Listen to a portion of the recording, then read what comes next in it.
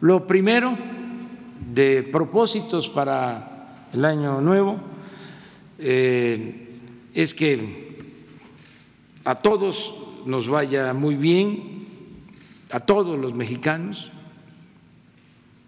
que podamos hablar de una tregua.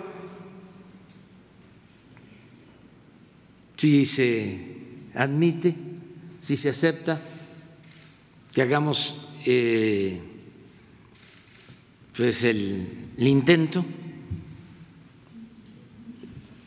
en lo político una tregua entre liberales y conservadores. Cuando menos hasta el año próximo.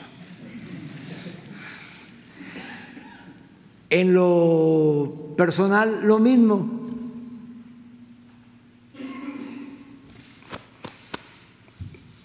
Abrazarnos, todos aportarnos bien. En lo familiar, transmitirnos mucho amor, reconciliarnos, que haya salud que es tan importante. Y que estemos contentos, que estemos alegres, que estemos felices.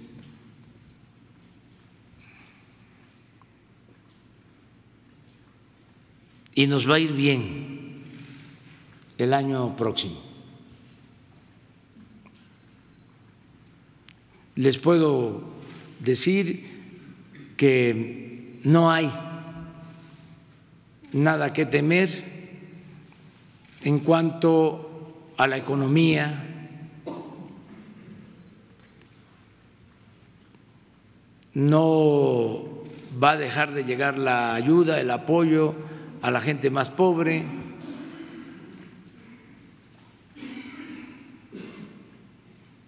Estamos atendiendo el problema de la inseguridad y de la violencia, que es lo más preocupante. Pero yo espero que el año próximo haya más bienestar, más progreso, más paz, más tranquilidad. Y el fin último de la política, el que podamos ser felices.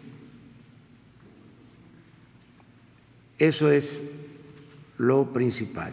Son mis deseos para el año próximo.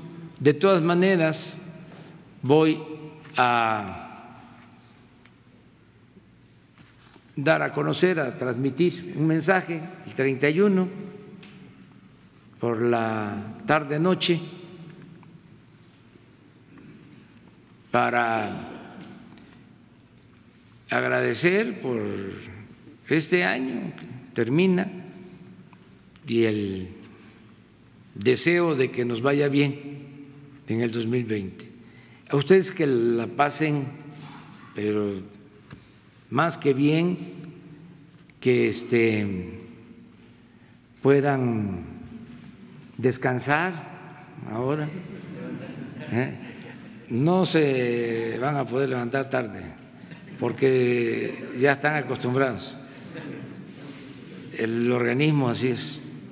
Por más que este, quiera uno, no se puede, pero hay que aprovechar, hay que aprovechar este, para estar con la familia y les deseo lo mejor a ustedes y muchas gracias de todo corazón a todas y a todos. Gracias. gracias.